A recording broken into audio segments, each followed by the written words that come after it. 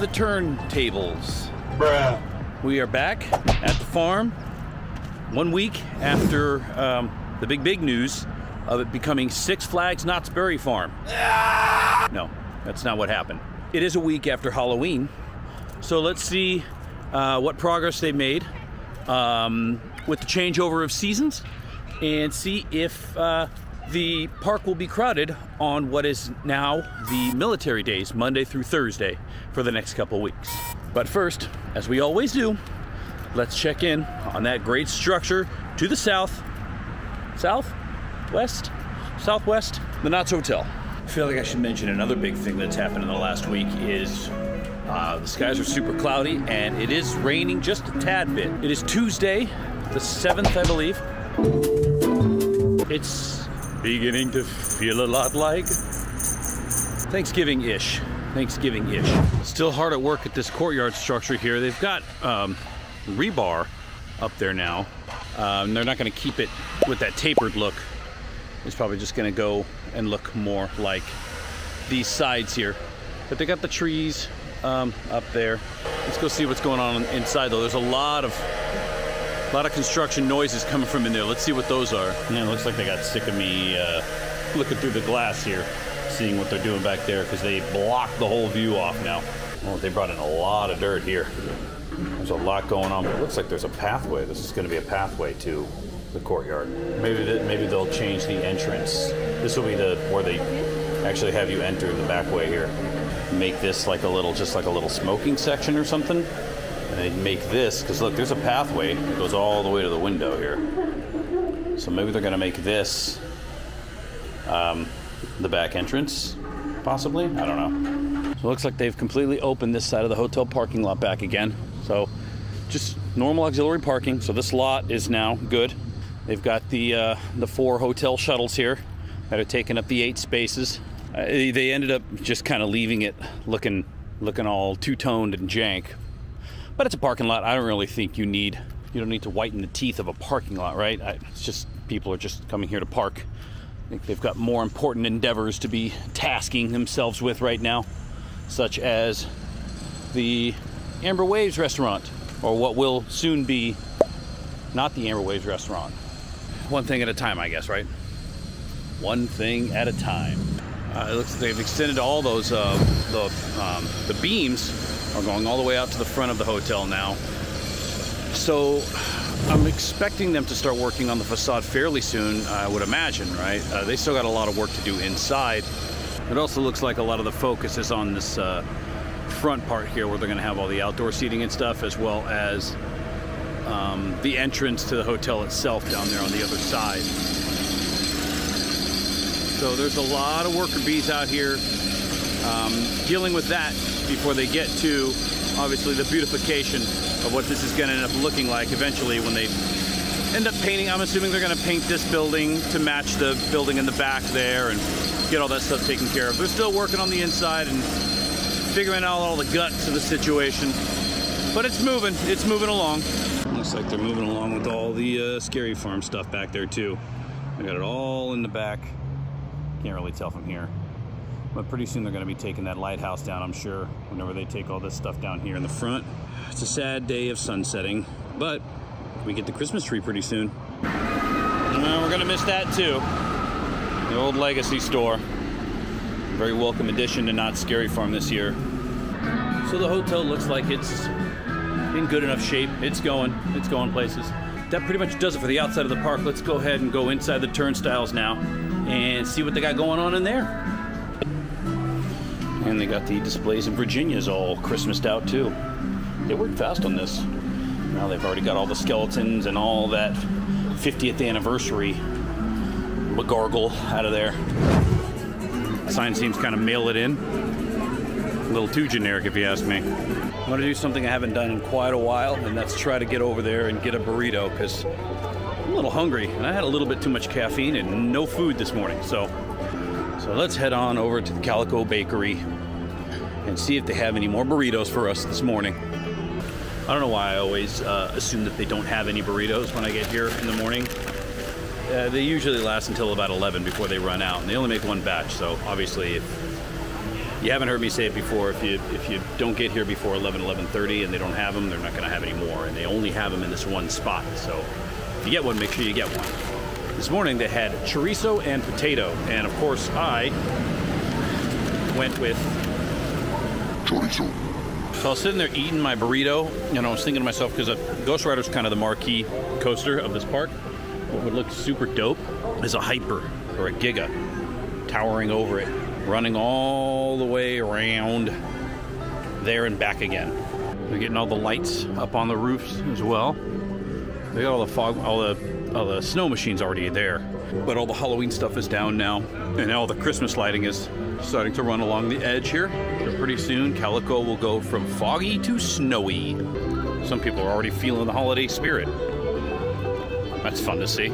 So the carnival is gone. Uh, and they started wheeling out all of the uh, the Christmas show that's going to be here. Looks like it's going to be the same show that was last year, which was the uh, that musical.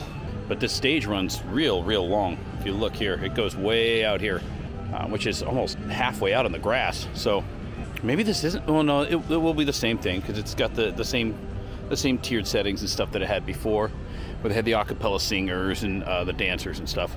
Um, they've obviously got a lot more of the background that they've got to wheel out here too. As you can see, they're you know they're all on wheels, so I, I would imagine not incredibly difficult to get the rest of the set out here, but they got time. They'll be fine.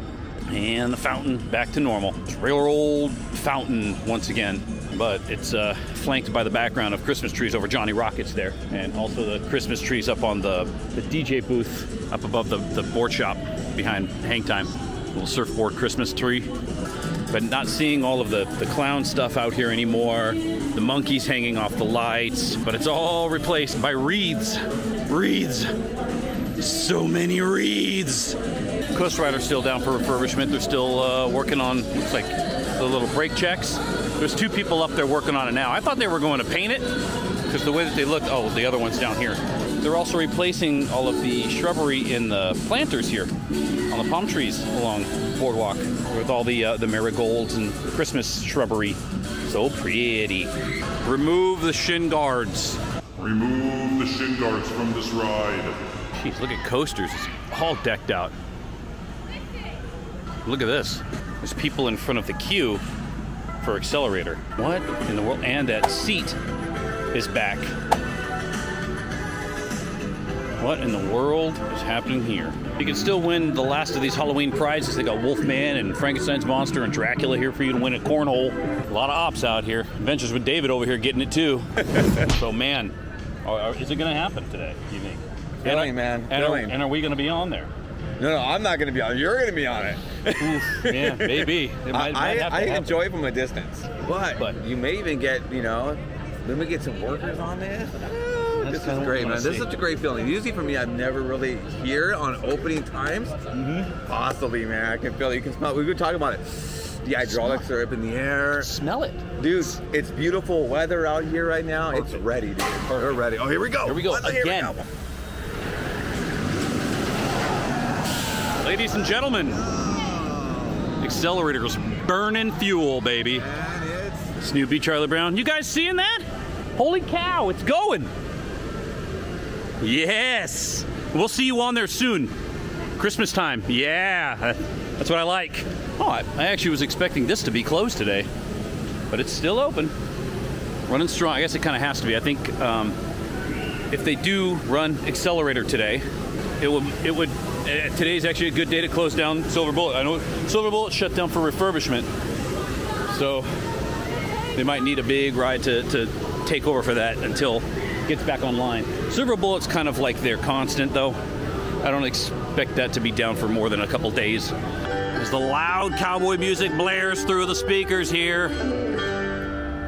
Still nothing going on in this little section here. All right, so this whole section is blocked off now. From Woodstock's airmail all the way to, they've, they've blocked off all of the Camp Snoopy stage, all the way over here to Flying Ace. That's what it's called. So that's all shut down, and the meet and greet is still shut down as well.